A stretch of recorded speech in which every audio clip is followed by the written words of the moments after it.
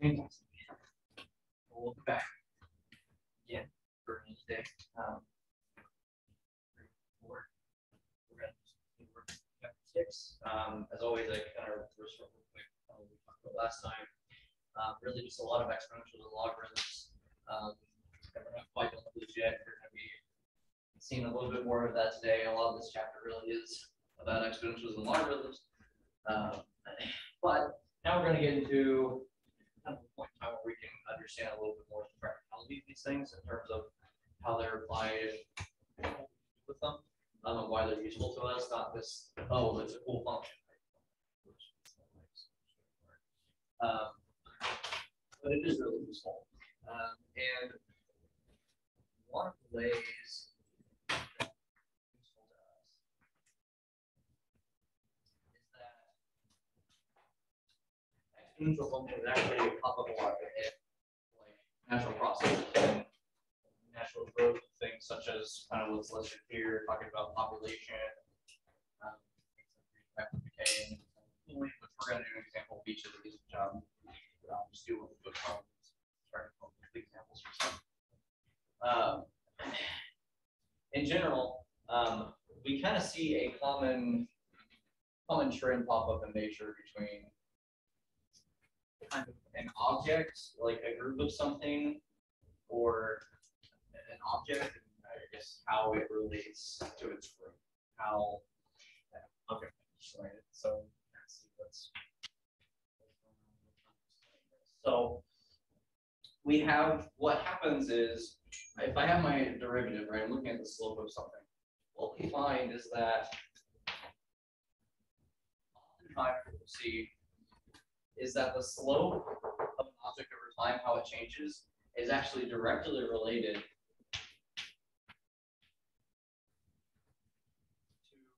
the object itself, but by kind of a this proportional constant here. Essentially saying that the rate and the function are um, tied to, are, if you divided them, you would get a number out of it, right? So there's kind of a consistency to it, right? That as this population grows here, right? So the number of y objects grows here. Um, if you multiply, you multiply that by the constant k we have here, and that's going to give us our slope, right? It's going to give us a slope at each time. So not some crazy equation. You just take the thing and multiply by whatever the number is. Um, now, I do want to make the point because this is actually a question of homework and it's going to be very prevalent to us when we get to chapter nine. This type of equation here is called a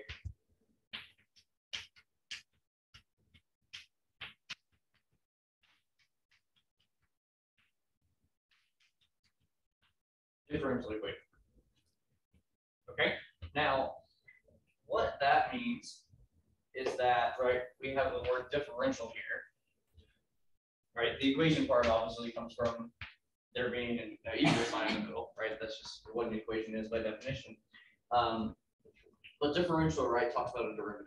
What this says is that I have some sort of equation where I'm given some sort of idea about the slope or how the slope's are related to the function or related to the time in some way. And in, so this is an example of a differential equation because I have slope here and I have the function itself here, right? And so what I can do with these sorts of equations is I'm actually able to solve these um, and find an answer like to them to understand, well, what exactly is the function that does this, right? I get it that they're kind of related by this constant k, but what exactly is the function? I don't want to just have y and dy over dt. I want to you know, be able to express it in terms of t, right? What's at this time, I know this is going to be my slope and this is going to be right without having to mess with just kind of this abstract y. Well, this does have a solution, um, and we'll learn how to solve these again pretty soon. I think it'll be um, like halfway through, right after the halfway point, we'll learn how to do these. Um, but there's only one solution, uh, well, actually a group of solutions to this equation, which are of the form. So this is so this is the solution here. I want to write all right to this equation, right? So this is the y that when you plug it in, you plug in y, you take its derivative, do the answer, and that's going to be y equals y evaluated at zero, right? So that just means whatever y is at time zero, an initial time essentially, times e to the kt. Okay, so this is a class of solutions that solves this equation, right? Whatever k is, it has to come up and it's going to be inside this exponential, right? Again, that's why we want to hammer in this exponential stuff because we're going to be using it. Um, and then depending on whatever your initial condition might be, right, basically what your starting point is, that's going to change the equation, right? So let's say that at time zero, my population, you know, I might have 100 of something, right? Well, then I would put 100 in this spot, okay? Or if I have a thousand, you know, 2,000, whatever it is, whatever that starting point is, is the number that I put here, right? And that'll just vary depending on what the object is, right? And K will also vary, um, giving us this different class of solutions, right? And if you're curious, right, let's just, let's talk through this real quick just to make sure we understand that this does indeed solve, like, make sense in this equation, right? So let's first, right, we want to see what dy over dt right? We know what y is. Let's figure out what dy over dt is going to be. So what is the derivative of this, of this object here, right? Let's remember, this is a number, this is just a constant, and this k here is a constant. So can anybody tell me what the derivative of this equation is going to be? Right, based on what learning. Natural logarithm t. Not quite, right? So remember, what, so what's the derivative of e?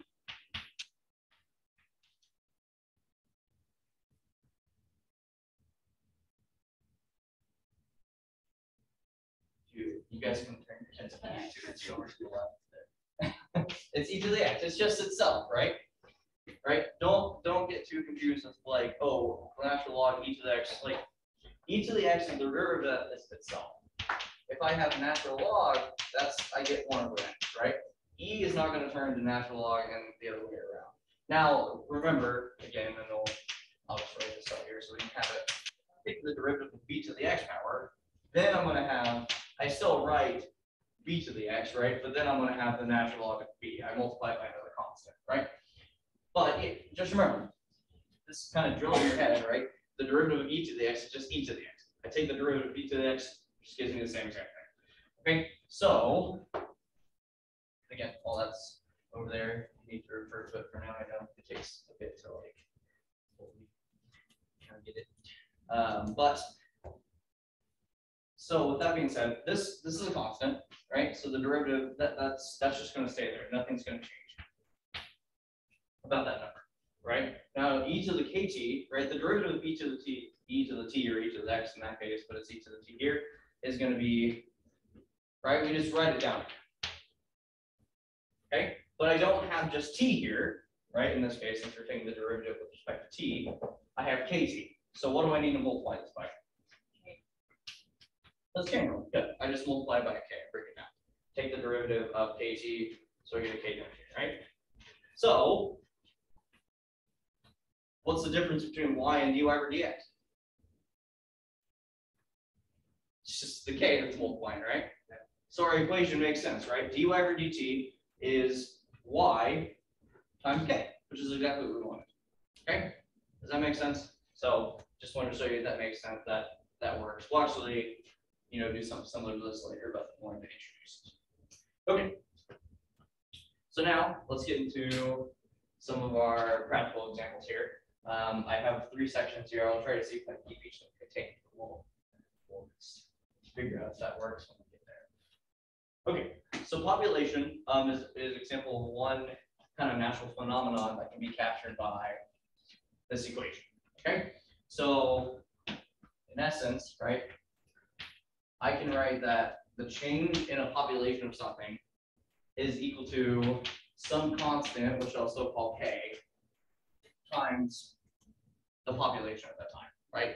The change, essentially, another way to say this is the change is relative. You'll see this a lot of times in the book.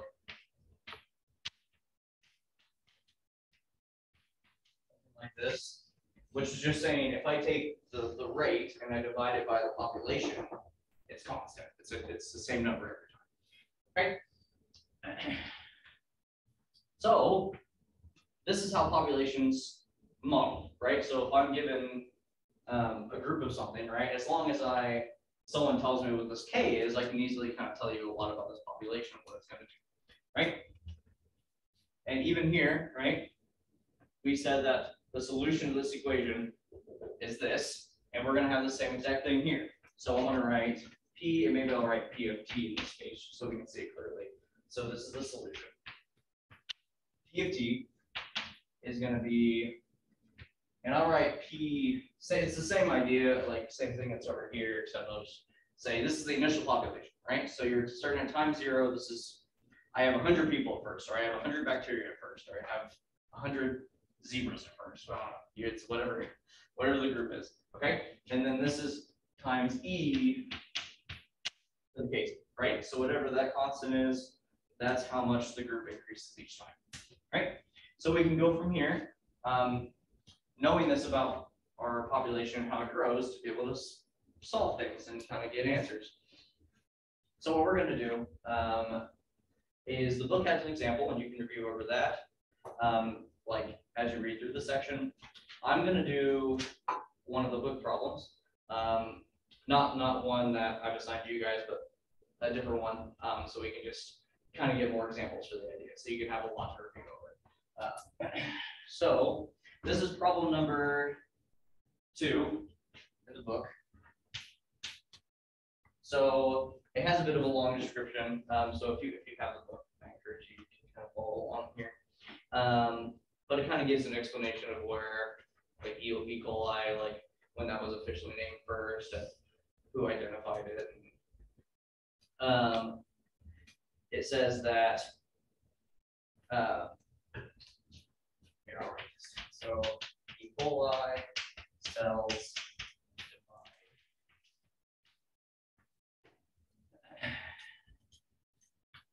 um, into two cells every twenty minutes.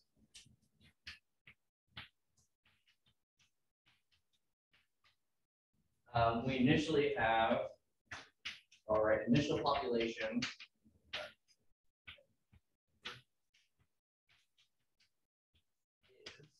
So we're given in this problem that the initial population is gonna be fifty cells.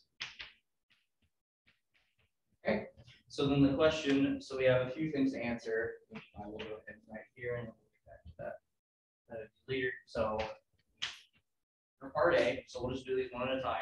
It's, it's defined. Relative.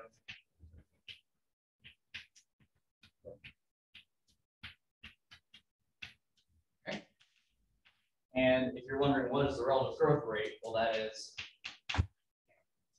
Okay, that is what we call K. K is the relative growth rate. Okay, so in this problem, I need to figure out. Given my information, what the relative growth rate is gonna be. Okay, so let's kind of work through this, okay? So we are given that the initial population of these E. coli cells is fifty total.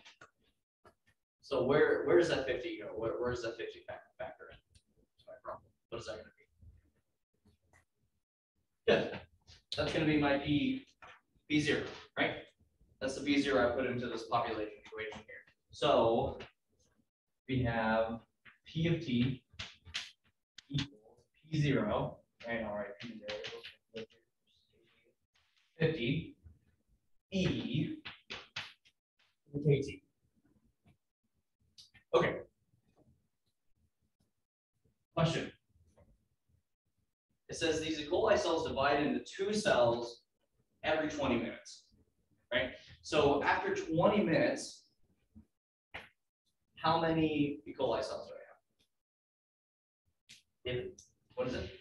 One hundred, thank you, good. So when T is twenty, and we'll do everything in terms of minutes here, so T is twenty minutes. We get that P of T should be hundred, right? Essentially, we're doubling the population in that case. Okay, so our goal becomes, right, I, I, I have this T and I have this P of T, can I use this to figure out what K is, right? Well, we can, And we're gonna plug in our information to see, to work it out, right? So we said P of t is one hundred when t is twenty.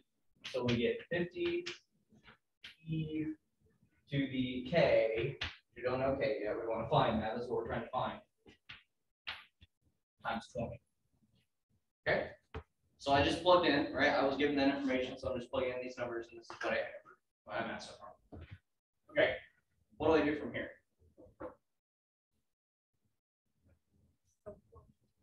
What is it? First, divide out fifty from the right. I think I heard a couple, yeah, I heard a couple people want to say that, but we're gonna divide 50 first from both sides. We're gonna do the natural log and that's, and that's good. But that's, that'll be nice only if we have the e by itself, right?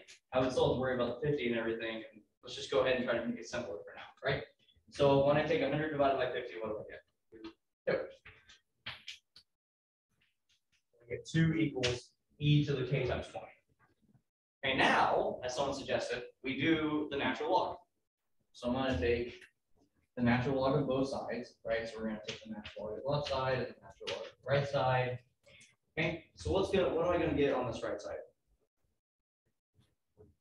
Twenty K, good. And this left side, I just left the natural log of two, right? Okay, so how do I solve for K at this point? divide, so we're gonna divide twenty, right? So K is natural log of two over. 12. Okay, so that is how, um, basically the rate of change and the initial population, like their the population is related. Okay, it's by this constant natural log. This makes sense so far? Is this good? Again, a lot of our time here is just gonna be working through examples, so uh, make sure you know how to do these. Sometimes when it comes to like word problems, you know, it can be, oh, like, this, this seems like a lot, but, um, really just try to break it down, you know, break down the equations you know, and it all will fall together. Okay, so that's part A. Part B. Is gonna be, is to find an expression for the number of cells all right, find expression for cells.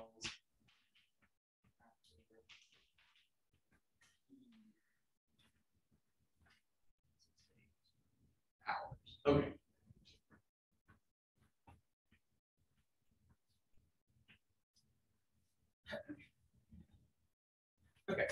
maybe, um, let's see what we want to do here. Because we have our growth rate here in terms of minutes. Um, so maybe just for the sake of making it work simple for now, I'm gonna go ahead and do this as minutes instead of hours. Okay, so we're gonna find an expression for the number of cells that are left after T minutes instead. Okay, just to sort of keep it. Okay. But of course, if, if you're working on a problem and ask for hours, just keep that in mind as you're kind of working through this. Um, if I want to change, so we have twenty minutes, if I want to, if I want to change this T in terms of hours, what would I do? Divide by sixty, right? So you would be working with one third instead of twenty, right? Because twenty divided by sixty is. Well, that would be the only change. Okay, so let's just keep consistent, though, we'll. Okay. So if we're gonna write our expression, I mean, we already have it, right? We just didn't have the K initially, we need to find that. So I'm gonna have fifty E, and now we're gonna plug in.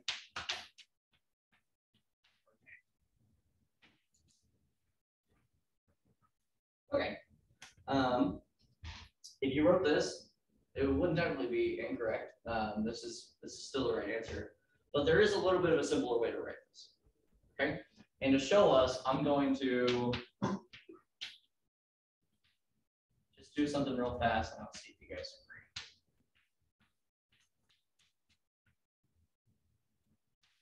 I'll rewrite it like this.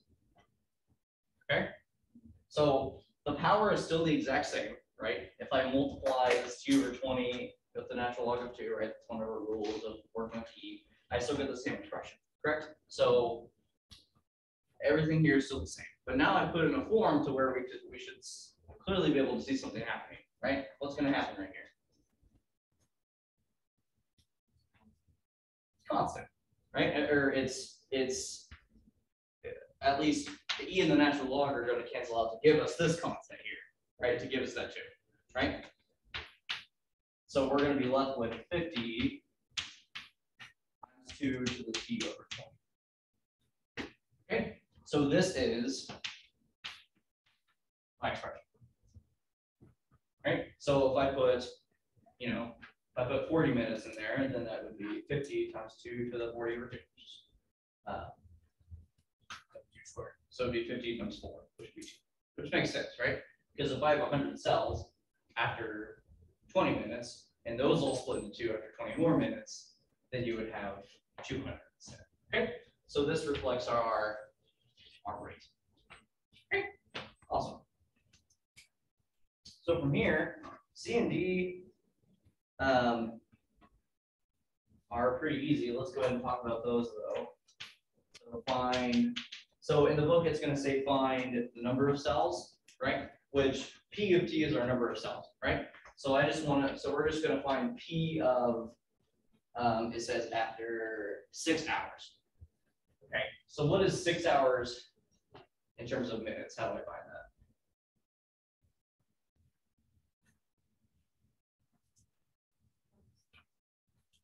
Yeah, we'll multiply 60.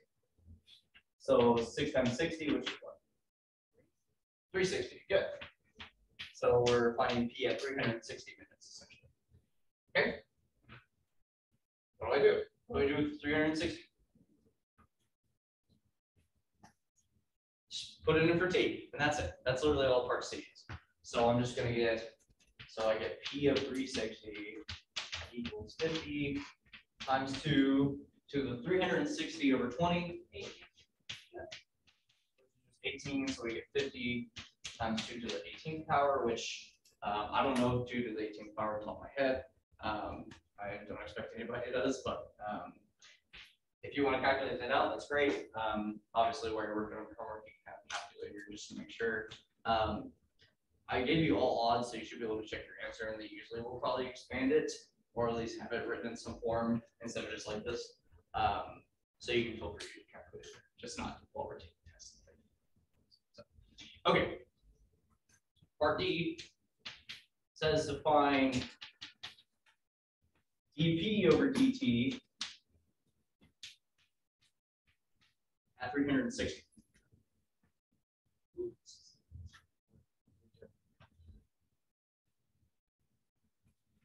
You could, I mean, so, so what I do is we have to find this, right? So it says to find the rate of change after, the rate of growth after six hours. Any ideas what, how we do this? Use this one? Yeah. Yeah, exactly. I mean, if you want to take the derivative of this thing again, that's completely fine. And then multiply, right, or and then plug it in, that's completely fine. But we also know from this equation and even from this one, that by rate, right, dp over dt at any time is equal to k times whatever p is at that time. Do we know what p is at that time? It's that fifty times two to the eighteenth power, right? So to get this number, I just need to take p of three sixty, which we already calculated, and then multiply it by what?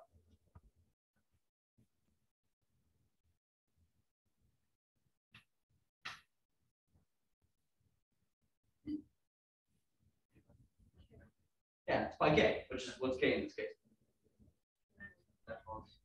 Or twenty, yeah. So again, you can plug it if you want to, but that's, that's our answer. Okay? In that case, right? That, that's really all it is, right? It's a simple, you don't need to worry about doing the derivative again, because it's kind of already done the work for you for the most part, so nice and easy. Um, now let's talk about, uh, there is one last part, so maybe I'll cover that.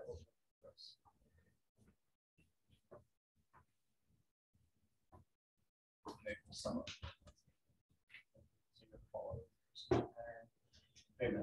So, so part E in this problem simply says, it says, when will the population reach a million cells?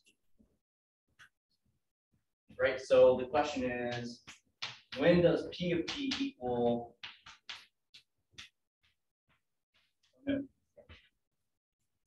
right? Or we have our equation, right? When is 50 times uh, 2 to the t over 20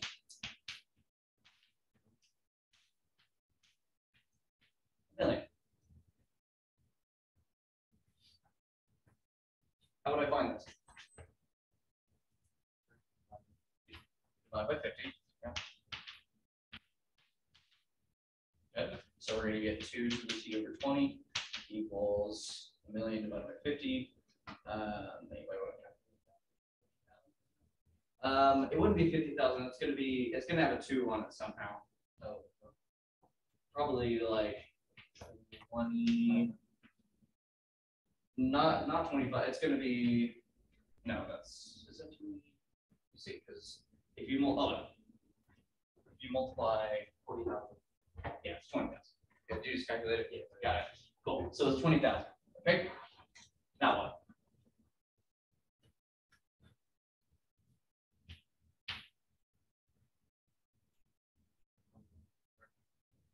Right, so you really have an option. We could, we could do, um, you could, right, when we canceled out E earlier, we could just, instead of doing natural log, we could do log base two and then cancel it. But oftentimes you just don't feel like doing that at a time. So, um, what I, what I usually like to do is I just, I still take the natural log of both sides. Now, the reason I do that is because that's still gonna allow me to bring this power down, right? Because of our rules of, of logarithms. So how can I rewrite this left side? Now with that natural log. Uh-huh.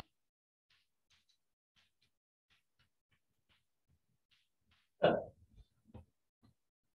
And now we can easily solve for t, right? So I divide natural log of two. And I multiply by twenty. Which is whatever this time. Okay, so that's our, that's the idea, right? Um, hopefully you, you know, have some experience working, solving these before. Uh, they usually cover these in a, this in like, in your class, maybe not with, obviously not with all the calculus part, but they may give you, they may just start and give you this thing and you work with it, right? We're just giving a little bit more foundation to understand, right? Any questions here before we can move on? Got a few more things in this section to cover, so we'll make sure to do that. Nice. Okay. So let's cover real quick.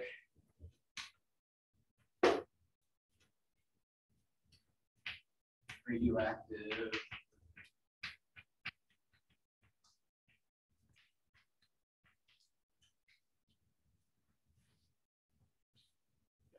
So. We're talking about population growth, right? We are we're expecting that K should be positive, right? Because we're saying that we should continue to grow, right? Um, that I should continue to get bigger over time, right? I, I hope that my, my population, you know, it wouldn't do this, but it would do something like this, right? More of this sort of exponential, um, direction, okay? In radioactive decay, right, we're seeing the opposite thing, right? We're decay, I mean, the case of the word we're seeing something kind of falling off, falling apart. So we don't want K to be positive in this case. We're wanting to look at something that's that's negative, right? So we still have the same equation, right? And they use M. Right? But as in the in the population case, we should expect that K should be positive, right? we should expect K here to be smaller, should be less than zero, right? I'm wanting things to go down, right? So if I have M, which tells me the amount of, uh, you know, whatever I have at that time, and I multiply by K, it should show me that the things decrease, right? But again, as last time, there's only us one solution to this equation, uh, or a set of solutions, I guess, but all within the same camp. M of T equals some initial amount, which I'll know him of. Um, E. Again, keeping in mind that that K should be a negative value. Okay, so with this being said, we can use this, again, as with the last problem, to kind of work through examples and kind of be able to deduce something about the nature of, um, in this case, what the book often does, it talks about, uh, chemicals, sort of, um, different elements and their decay rates over time. Um, it's all kind of interesting stuff, but we can use this equation to model that behavior. Okay, so let's go ahead and we can do, kind of start the example here. Um, some of the beats of this problem are a little similar to the last one, so maybe we don't need to go as in depth, but.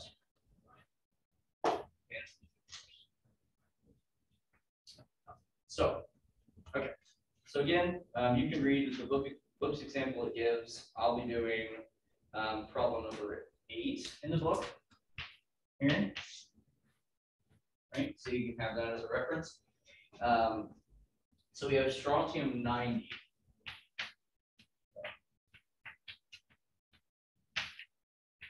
Has a half-life.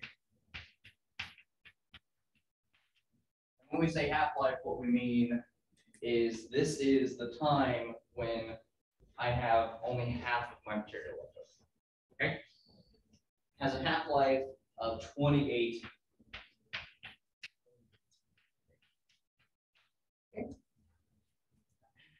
So, um, similar to the last one, you know, it might be good to pay attention to what the timing says on there. Um, here, everything's in days, so we can work, work it on the days.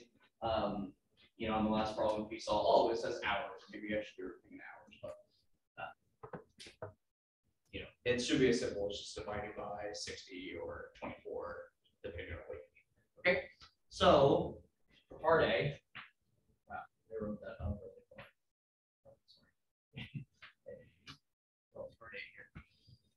It has, it says a sample, so it says initial sample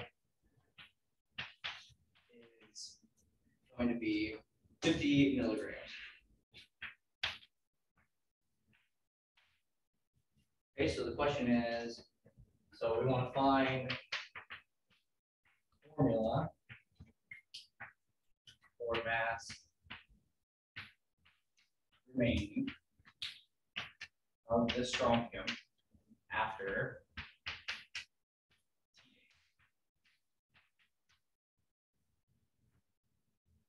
Okay, awesome. So let's do it. Let's do part A. So help me out. How are we gonna start? How are we gonna set this up? What am I gonna use?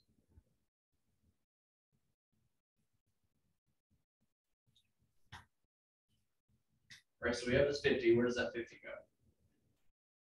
Right, we have our equation here, where's go in this equation? Okay, so we don't, obviously, we- we're just gonna start with the sub t. But we have, um, fifty, right, similar to the last one, E. Okay. Okay, now, this says that strontium ninety has a half-life of twenty-eight days, so remember that says that um, after this much time, right, after twenty-eight days, right, so let me write this over here. After twenty-eight days have passed in this equation, I should have half of my amount left over. What is half of my amount? Twenty-five. So, just like the last one, I'm gonna use this information in conjunction with what I already have and kind of plug this, these numbers in. So M of twenty-eight is twenty-five, right? So we get twenty-five equals fifty times E to the K times twenty-eight. Okay? So what do we need to find? Okay, okay, this is very similar to the last one, right? So let's just go ahead and do the second. What should I do first? We're gonna divide by fifty. So I get, what's twenty-five over fifty? One half equals E. And I'll go ahead and write twenty-eight K, right? we're working with numbers in this case where, you know, you can kind of maneuver which order you prefer. It doesn't matter, that they're the same thing. Uh, there's certain classes where you can't do that, but we have, we have it. Okay. That one.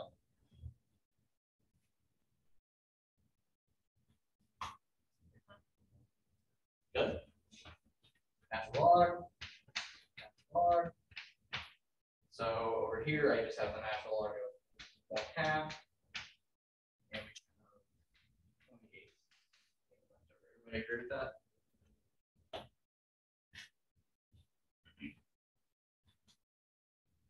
Good. So I don't really like, I mean, natural log of one half I could evaluate, um, but I might prefer to write this a little differently. Um, so let's talk about that real fast, right? If I have the natural log of one over two, right? I have something divided by something else. So how can I expand this logarithm?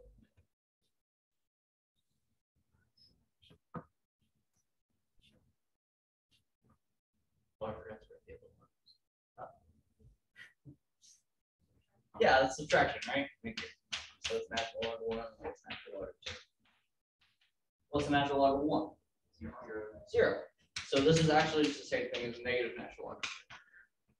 Okay, and that's actually always the case. If I have natural log of one over three or one over four, one over five, it's just gonna be negative natural log of that, right? Because it's one over that and natural log of one is zero. So just a, a nice little thing there. Okay, so let me write this over here, okay, with that in mind. Negative natural log of two is twenty-eight K. So what's K?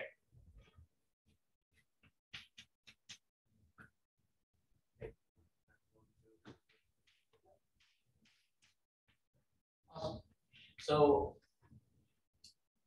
the reason I emphasize kind of doing this so much is because we expected K to be negative, right?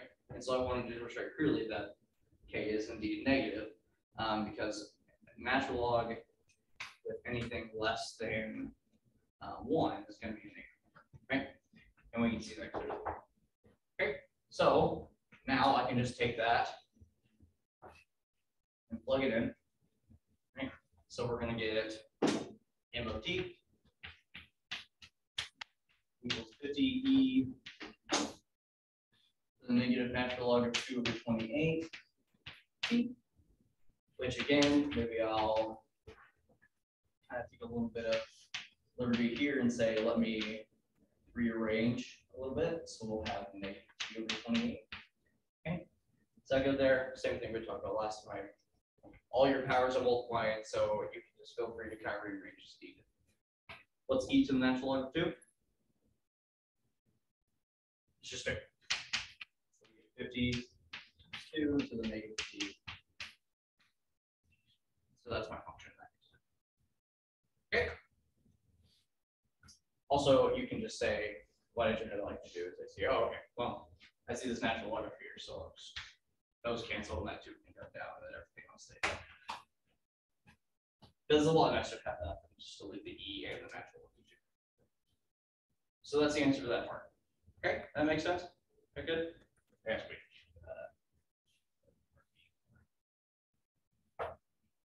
Okay. So part B and part C, um, it just says find the master mean after forty days. So just like the last one, you plug in a number and see, um, and it says how long does the sample, take the sample to decay to two.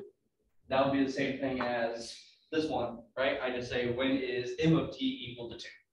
And you solve for it. Okay, do I need to work that out or does that make sense? Um, it's a very similar process.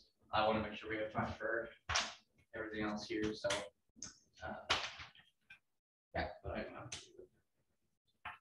Yes, no, makes sense? Just do the same process. I'll go a little bit more into the Newton's little cooling here, because that's probably the harder, harder of the, the things here to understand and work through. Um, we see it all the back quite a bit, so I want to make sure students understand. Okay.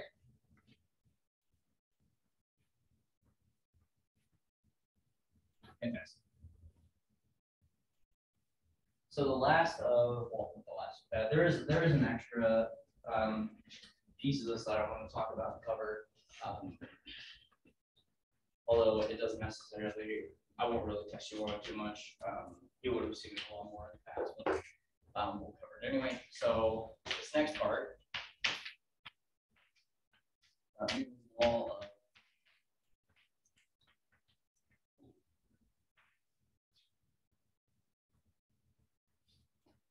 Okay, so what is this? Well, you see a pattern, right, with everything here.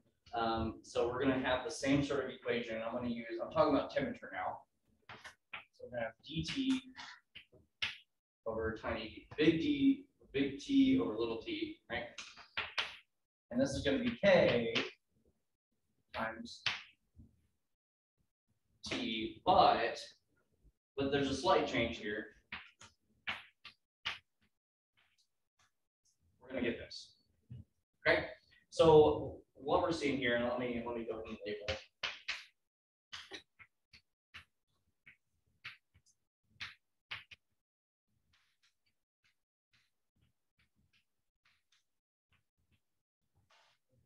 So this is Newton's law of cooling, um, this equation. Um, and what this says is that the temperature, right? Relative, of course, to where the surrounding temperature is, there might be a, you know, whatever that is. Uh, we want to kind of take them off and look at the change between them. Um, is relatively, like it's proportional to its slope, right, just as the others are, um, by some constant k, right? And so we can use this in a lot of interesting ways. Um, I think the ones that I have you do in this section talk about um, putting a roast turkey in an oven and like taking it colder to a refrigerator. So those are fun. You know, those are cool ideas. Um, but just understanding, you know, at this time, if I leave, if I take this object from this environment and put it into a new environment, leave it there for a while, what's the temperature going to be after so, so so much time? I can calculate these things using this equation. I know, have an understanding of what the temperature is, right? Maybe initial temperature and what the surrounding temperature is going to be. But I can use that information to find it. Okay, now, this one looks a little, a bit different, right? Because now since I have this minus TS, it might be hard for me to get like a, a general um, form for this. But we can still do it, right? And I'm gonna show you that we can by making a substitution. So I'm gonna let y equal t minus ts. Okay? If I take the derivative of y, what am I gonna get?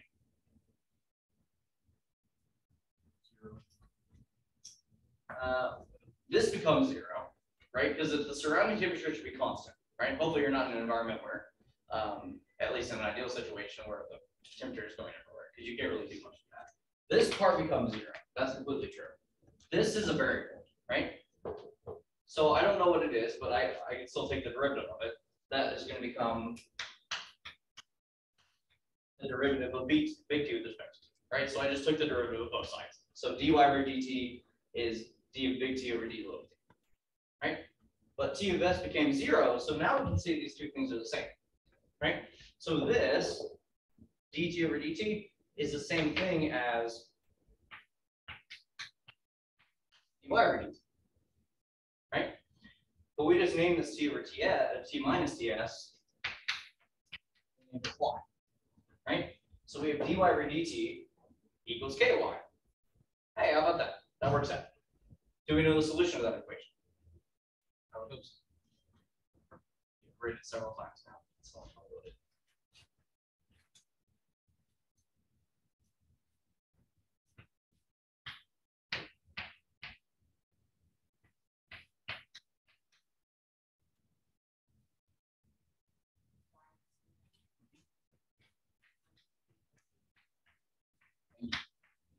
y zero to the gate, right? This is this, this extreme left hand and extreme right hand side are the equation that we've been talking about this whole now, right? So the solution is this. Now, obviously, I don't want to do a y. I'm going to talk about this temperature T here, right?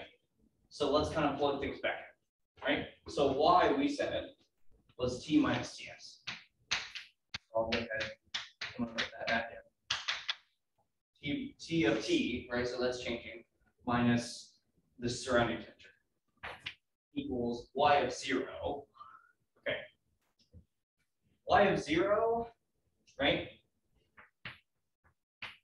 Simply just whatever t of zero is, right? Minus the surrounding temperature, right? Because I just plug zero into both these things, except this is a constant, so it's. So I get y of zero and I get t of zero right? So y of zero in this case becomes t of zero, that's ts. For kt. Okay? I want to get t of t by itself, so big T little t by itself, so what should I do with that minus ts?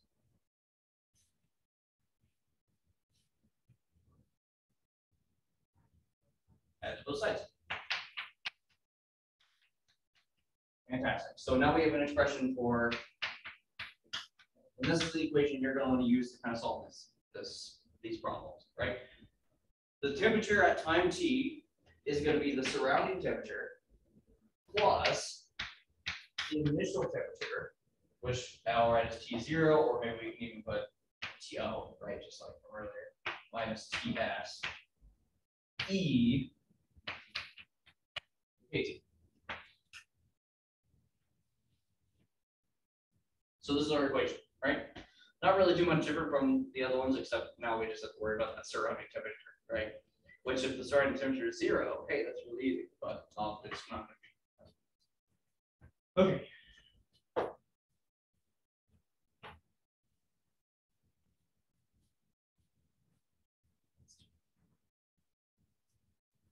So, um, like I mentioned, you're assigned to do number fifteen and number seventeen.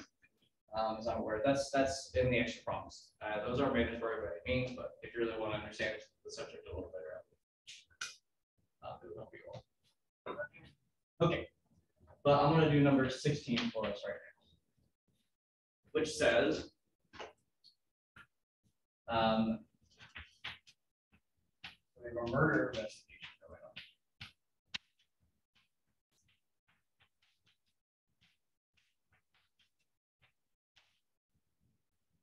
Let's see, um. The corpse temperature.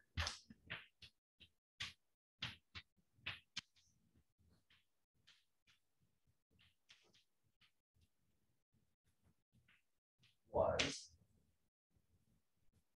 Um, it was found, well, actually. Um, well, yeah, was not found to be, I'd say it was, uh, thirty-two Celsius, and that's gonna be thirty P M. And it's going to be thirty point three degrees Celsius and hourly.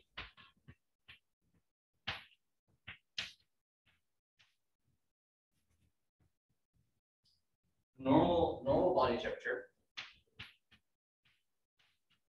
Celsius, Celsius at least. Is thirty-seven degrees Celsius. And it says the surrounding temperature, I'll go ahead and save some time. TS, surrounding temperature.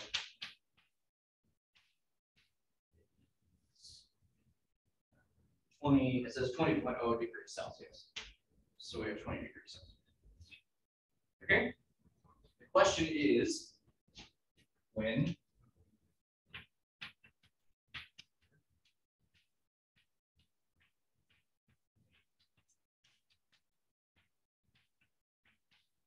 twice. Okay, so this is a bit of an interesting question here, right? So we're, we're given that at 1:30 PM, the corpse temperature point five degrees, and it was thirty point three degrees an hour later, right? Um, its normal body temperature is supposed to be thirty-seven degrees, right? The body's supposed to be regulating itself. Um, it shouldn't be uh, adapting to the surrounding temperature. Um, but that's currently what it's doing, right? So our goal is to figure out when this murder took place, right? And to do this, right, we are going to apply Newton's law of cooling to this out. So let's work, let's work through it, right? Let's start off by, let's take our numbers and kind of plug them into our equation, right? Because this is supposed to be the differential equation that we're working from, but this is a solution, so we can use this, right? So first, what is, what is TS supposed to be? Twenty, thank you. What is, what is D zero supposed to be? Well, we do, we, we have that, right? That's thirty-seven degrees Celsius. We want to know when it took place, okay? Its initial temperature is thirty-seven degrees. We just don't know when the last time was that it was at thirty-seven degrees, right? We're trying to figure that out, okay? So TO is, that's 30 37 degrees Celsius. Okay, so what we have is that if I plug these numbers in, I'm gonna get T of T equals twenty plus, what is TO minus twenty, or minus the starting temperature? Seventeen.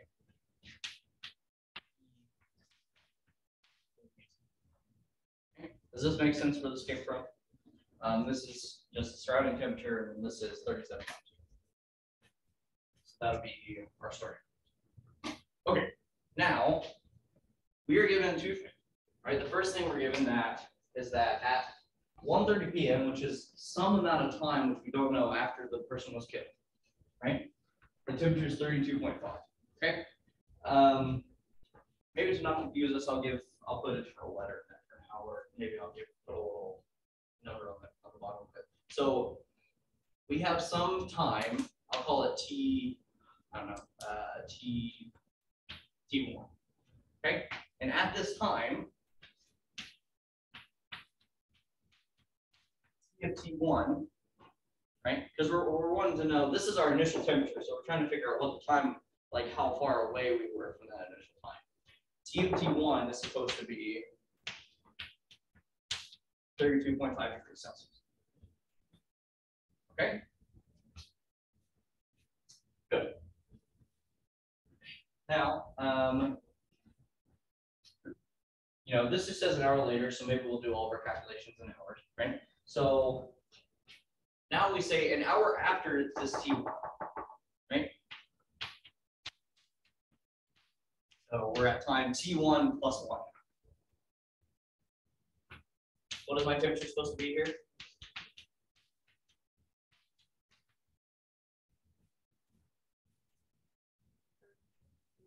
Thirty point three. Thank you. Okay. So, right, our ultimate goal is to find what T one is supposed to be, right? There, there's gonna be some constant K, um, which we could try to find, and maybe it would be helpful to get that first. Um, but our ultimate goal is to get this T one. So let's take, let's take these things that we have here and kind of plug them into our equation, right? So we're gonna move over here, we're gonna do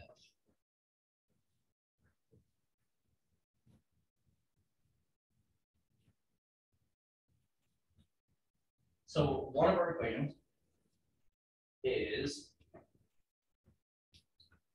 right at, so at T of T1, right, just at that 130 time, 32.5 degrees Celsius.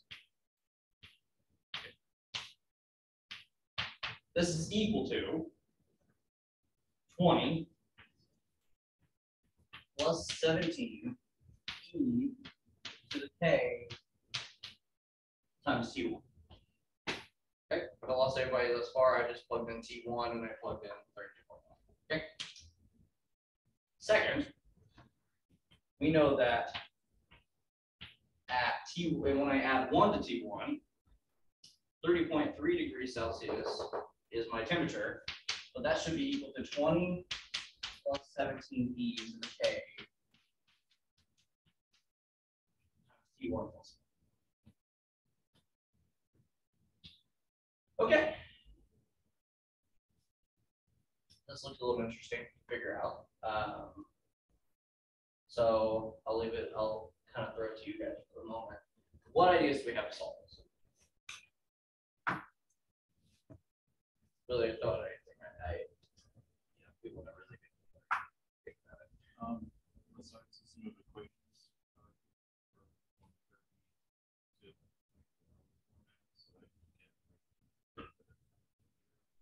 Um, not necessarily, and I'm not sure if that'll help us as much in this case. So we don't, we're not really focused on, we don't really want to convert anything, like, we can't really make our situation much simpler than this at the moment. Our goal is to say, I need to try to find this T one, or maybe even K. I need to find one of them. So the question is, how should I do that? Like we start by moving all the numbers to the right, and we set both equations equal to zero, and then we set them. Um, maybe not, maybe not, so I, I think you're on the right track. I wouldn't necessarily set them equal to, maybe not equal to zero though.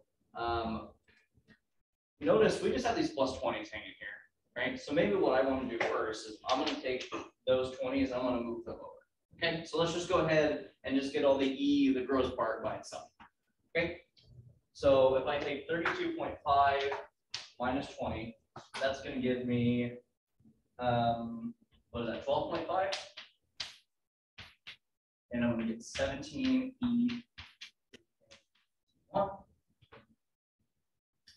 Okay, and we're gonna have, see, thirty point, what is thirty point three minus twenty? Equals seventeen E. Okay, now what I'm gonna do is I'm gonna take, um, this K and I'm gonna distribute it, so I'm gonna get KT one. Plus K, kind of like that, that's still inside X my exponent. Okay. Now. Yeah, so we do have the option, um, where we could take these and we could. You know, try to manipulate the numbers a little bit to set them equal to each other. Um, what I, what I also kind of see here, right, is you know, again, I can find K if I want to, but I don't, or well, actually, it would be fine. Anyway, um, let's see. This K times T, T one thing here is a problem. I don't want that there, right? Let me ask a question. If I have E, so I have E to the KT one plus K. Is there any way that I could rewrite?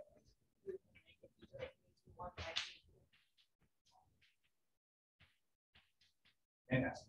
So that is, so that might be helpful, right? I'm gonna replace that here real fast. I'm gonna get this. Now notice that this is, this is the same thing here, aside from this plus the e to the k on the right? So what would, what, what could I do, maybe? Maybe let's take, right, remember, uh, when you learned to solve equations and stuff, you kind of had, you either learned substitution, which we could try to do, or you had an elimination idea. Um, where as long as you kind of added an equation and multiple equations for each other, you could do that. Um, what we can also do is, is as long as I do the same thing to both sides, I could also multiply or divide. You could also substitute for with five in for the seventeen. That's good. Yeah, that's true. Actually, that might be a little bit easier in this case.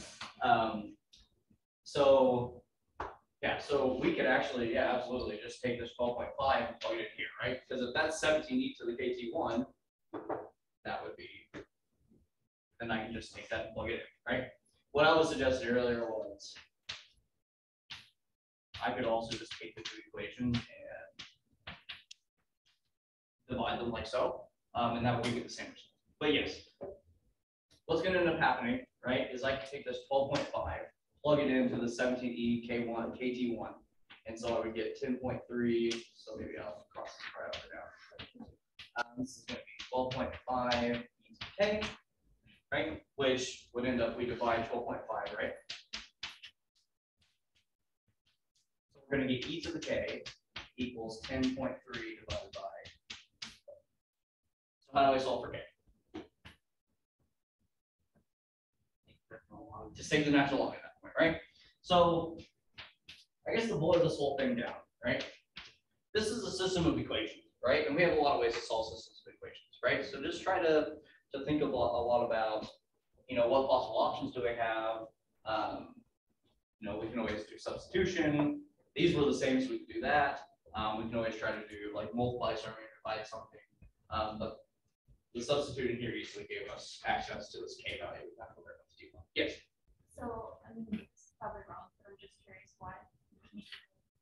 Um, with the information that they gave us in the beginning, that original equation with the, like, the zero and yes, hmm? could you use 32.5 as t sub 0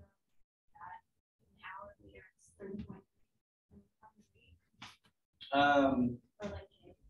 Well, the issue is, is that this, I mean, in some cases, maybe this is a starting temperature, but we're, this problem, we're saying that there's some, this thirty-seven is supposed to be the starting temperature. So we need to do, Find K and then go back and like, back to that equation and um, not necessarily, I think it, it, it depends on the situation, so you really need to kind of work back and test it, right? Because, um, if you set up your equation like that, and like you say, oh, I find the K for that situation, and then you try to say, well, let me extend it back, you might get into a bit of a confusing situation. Um, so it's, I think it's better just to kind of say, here's this starting time, right? And let's go from there to see um, what, how long that is, and we'll just take it away from. And that varies. So we get K is the natural log of ten point three over twelve point five, right? So now that we have that, right, again, we have these two equations, and if I know K, I can just plug it in and I can solve for T one. It might take a bit, um, but we can solve for T one, right? So let me, let me take this one real quick. Maybe we'll do some calculator work so we can um, kind of cut down the time here. Seventeen E to the, um, now, if I take this natural log and I put it in for K here, what's gonna happen between that E and that natural log? They're gonna cancel each other. So I can just write this as, instead of E, I can put ten point three or twelve point five in here, and then I'll make it T. Right, which now this becomes an equation I can solve for T one. Um, so we'll do that real quick. If I subtract twenty, and then we divide seventeen.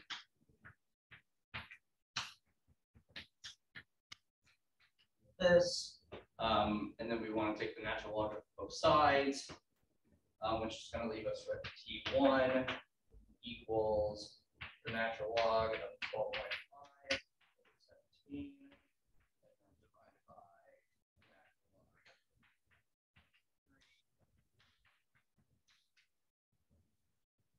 Okay. Anybody want to help calculate that to make sure we're correct here? Let's see.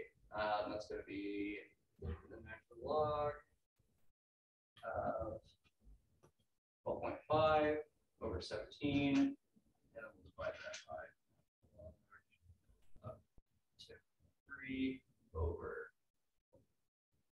Okay, which gives us 1.5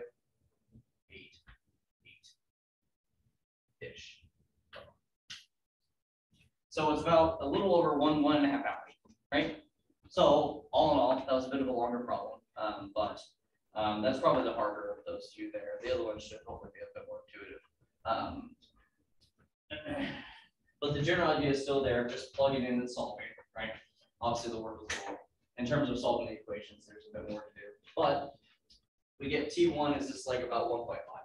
So um, you could calculate, calculate to be exact, but the answer to this is, it took place, I'll, just say a bit before, you know, a bit before noon.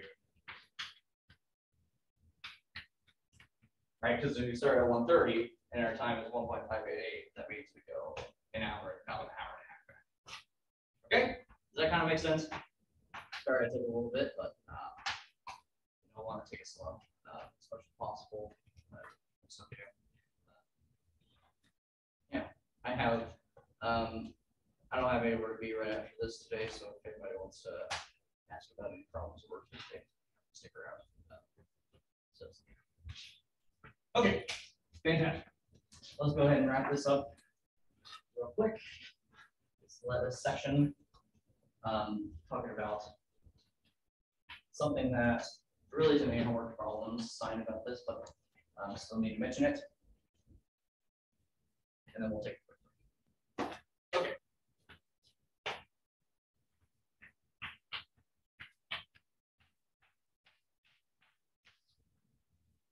Okay.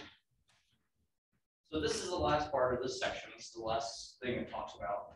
Um, which doesn't as much directly tie in as you might expect it to, right? Because at first, it presents us with an equation which looks something like this. E though here.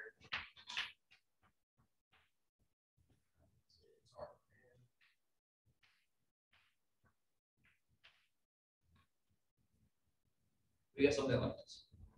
Okay, so this is, this is kind of the classic equation um, to calculate how much interest you get off of putting in an initial amount AO um, after with a given rate, you know, given interest rate, a given time, right? How much time? And then N is, uh, see, what was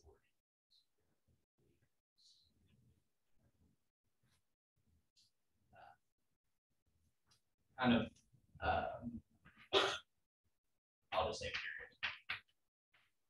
Kind of the period of the pain, right?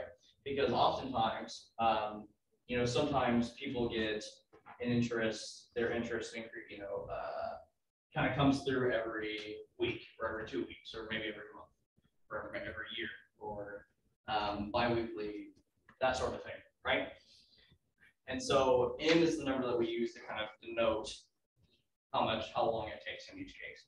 Okay, so to, to just show this, kind of talk through this, I'm gonna use um, last example in this section, which is number twenty. And we're gonna kind of get to the point of, you know, how does this tie into what we've been talking about? Well, so in number twenty, um, the goal here, again, I didn't want to do the exact detail of the book, um, we have a thousand dollars borrowed.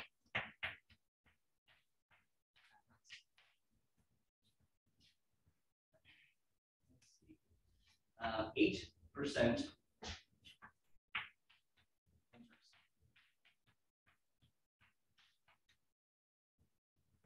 So our goal is to find due.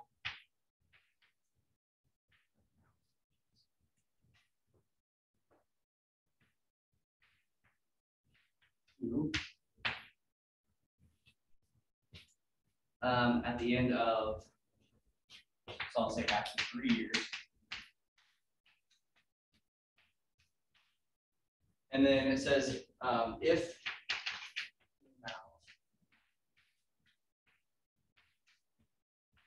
compounded.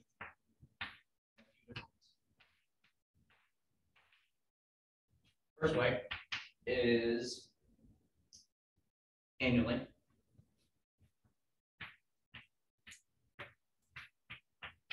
So we'll start with that.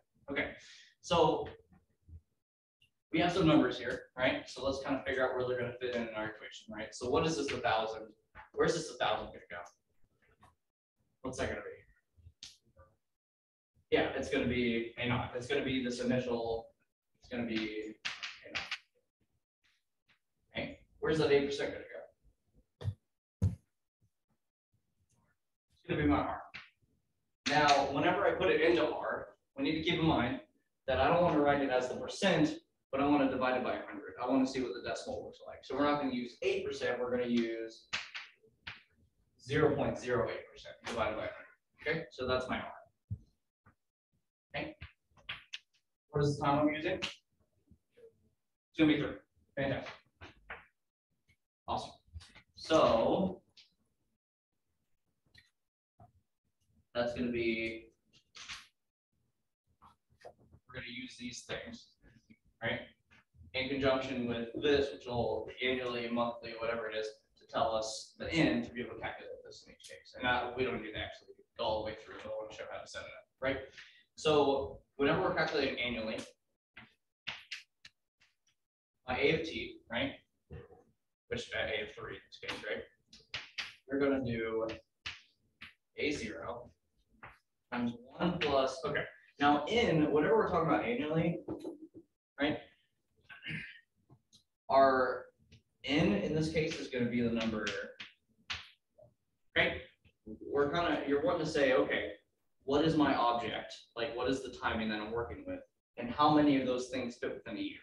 Right? So if I say annually, there's only one year it fits in a year, right? So n is gonna be one in that case. So I'm gonna get one plus zero point zero eight to the one, right, and this is over one technically, to the one times three.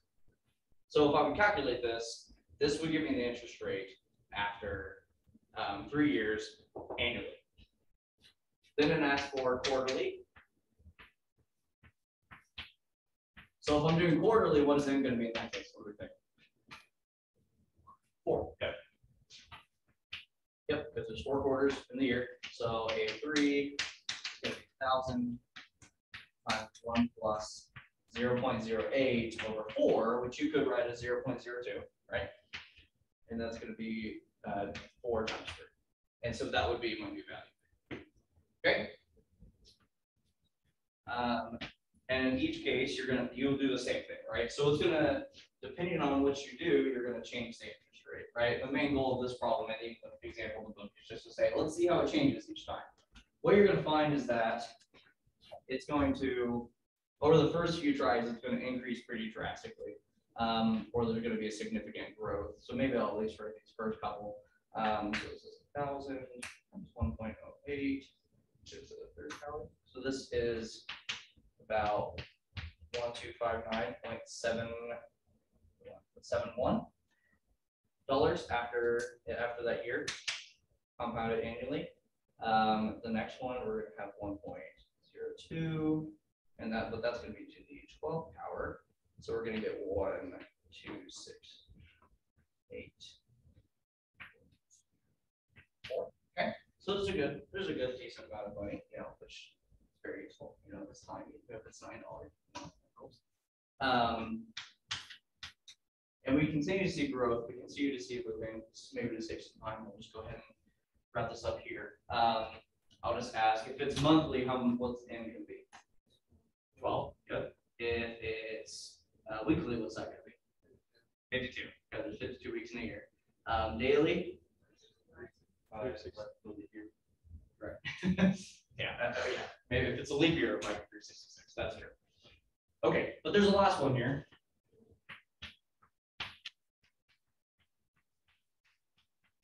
Continuously. So that means that I don't just do it every day. I don't just do it every, you could try to fit hours and minutes and seconds in there, I guess, but where it's just constantly doing it, right? So in, in isn't just gonna be a finite number in this case. N is going to approach infinity, right? So I'm gonna take this equation and I will, will look at the limit as n approaches infinity of. So maybe I'll put our, um, our numbers in here, so you can see it.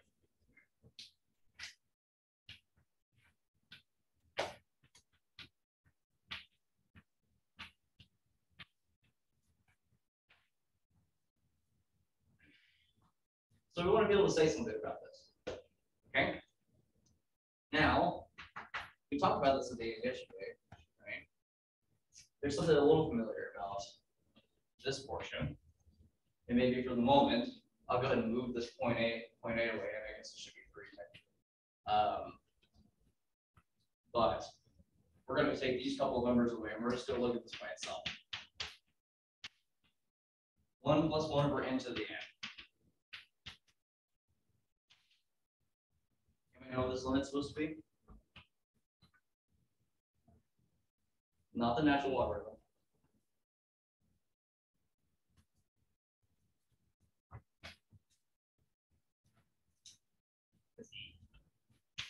on at the end of, we talked about this at the end. The number e, this is the definition for the number e, right? And even though we have some numbers in various places here, it really actually doesn't matter too much. What's gonna happen is, is those numbers are just gonna be taken into the exponent for e, um, funny enough. And, uh, in the next section, we'll talk about real quick, um, you can actually, you know, if you wanna do this limit for yourself, you can, um, and show that it'll do this. Well, what's gonna happen is I'm gonna get one thousand e to the zero point zero eight times three. And in general, right, we have this equation, which is for interest over some finite period, right? So where I have some finite number that I put per in. But if I want to do it continuously, then my equation is going to become a equals AO E to the R times. Okay, and that's, I mean, that looks exactly like what we've been doing, right? It's the same thing. That can, if if we have an interest that's growing continuously, it fits into that same pattern, right? Which is all very nice. It's very cool how E pops up at all these places, even though it's not like a normal counting number or anything.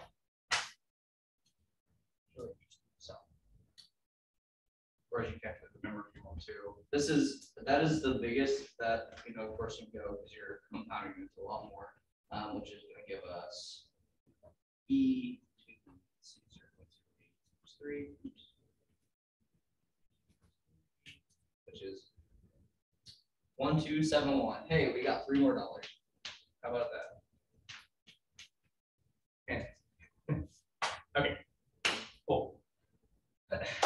That section took a little while, um, but I think it needs to. Um, this is one that a lot of students start with, so. Start with walk through it.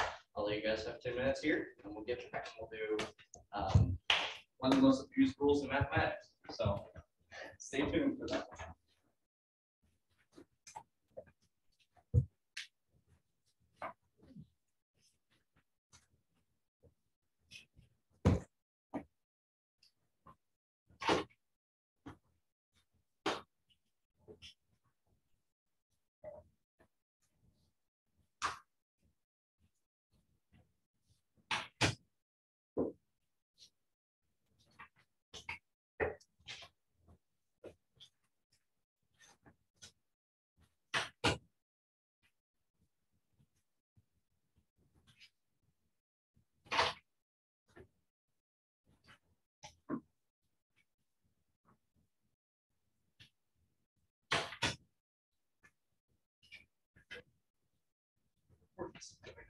or something.